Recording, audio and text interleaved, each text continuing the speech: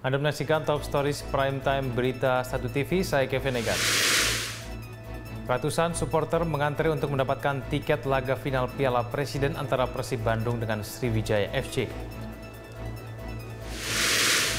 Badan Nasional Penanggulangan Bencana mendapatkan tambahan anggaran sebesar 750 miliar rupiah dari pemerintah pusat. Dana itu digunakan untuk memaksimalkan penanganan bencana kabut asap akibat kebakaran hutan dan lahan di Sumatera dan Kalimantan.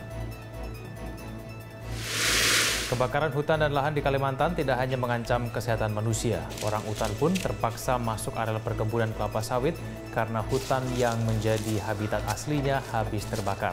Satu bayi orang hutan berhasil diselamatkan.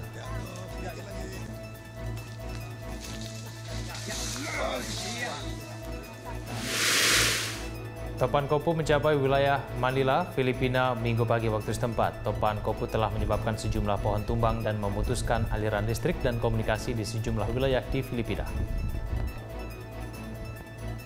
Berita satu News Channel dapat saksikan lewat live streaming di Berita Satu TV dan First Media Group.